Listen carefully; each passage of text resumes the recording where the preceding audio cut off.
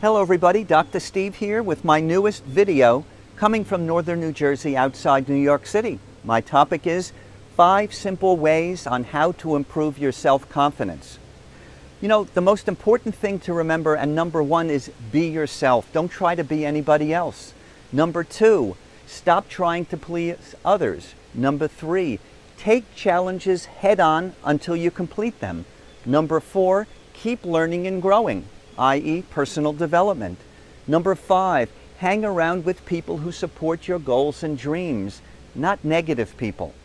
And remember always, what attracts people to you is your belief. So I hope you got value here today, and if you did, and you'd like to have people come to you, learn more about attraction marketing, go to drstevesaboleads.com.